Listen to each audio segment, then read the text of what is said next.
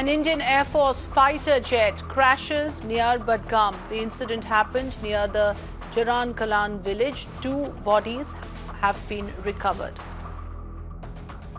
This has happened near Budgam in Jammu and Kashmir. It's uh, an Air Force, Indian Air Force fighter jet that has crashed near Budgam. We're waiting for more details on the exact uh, uh, circumstances that led to this crash, but those are the pictures that we have access from the location it seems that both the pilots on board have died on the spot. Their bodies have been recovered. Extremely tragic incident of two Indian Air Force fighter, uh, two Indian Air Force uh, pilots getting killed in this crash. Uh, the crash uh, remains have been recovered from Budgam in JNK. Uh, this has taken place near the Gerand Kalan village. What we heard earlier is that this uh, crash took place in an open area, so there are no other casualties besides the two pilots that were flying, who were flying this Air Force fighter jet.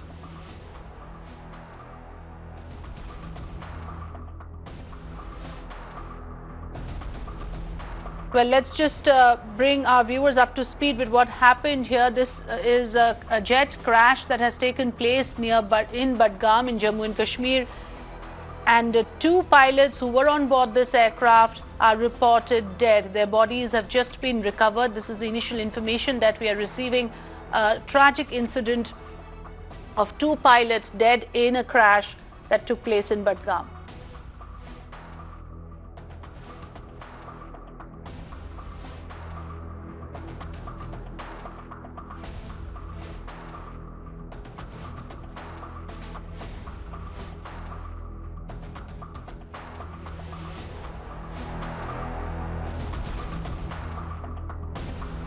So what we're hearing is uh, that two bodies have been recovered. Uh, let's just wait for the official confirmation to actually uh, ascertain whether these two bodies belong to, these two bodies are the pilots or not. That information has not yet been confirmed. So we're just being extra cautious here. As of now, two bodies recovered from the site of the crash. You can see a huge deployment of forces there. The local citizens also gathered.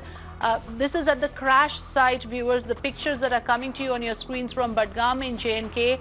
Uh, in a way, it's also fortunate that this crash took place in an open area. This, there is a village nearby. This is uh, a residential area uh, of Budgam. However, the crash took place in an open field uh, because of which there is no damage to the to life and property of the local inhabitants of this area. Uh, we can see, in fact, rescue teams over there. We can see the debris uh, of the aircraft. These are live pictures coming to you on your screens where we can see uh, those fumes there because this crash has taken place just some time ago. And what we are understanding from initial information is that two bodies have been recovered. Two deaths, uh, two deaths have uh, been confirmed, but the identity of uh, those dead are not confirmed yet.